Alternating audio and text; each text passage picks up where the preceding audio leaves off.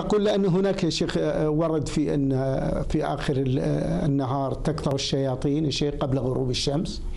ولكن الحمد لله عند الله سبحانه وتعالى أعطانا ما يمنعنا من الشياطين وما يكون حصنا بيننا وبينهم. الحمد لله. دائما والحمد لله. الأوراد أوراد الصباح وأوراد المساء والحمد لله. ورسولنا صلى الله عليه وسلم. يقول في آية الكرسي من قرأها في الصباح لم يقربه شيطان حتى حتى حتى يمسي ومن قرأها في المساء لم يقربه شيطان حتى يصبح.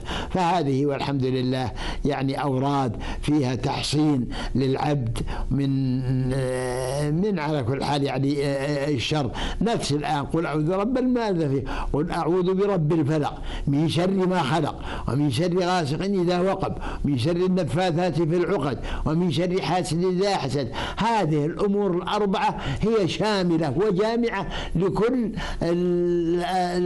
المصائب المحتملة على الإنسان ولكن يدفعها الله سبحانه وتعالى حينما يكون الواحد متوجها إلى الله سبحانه وتعالى متعوذا من هذه الأمور الجامعة.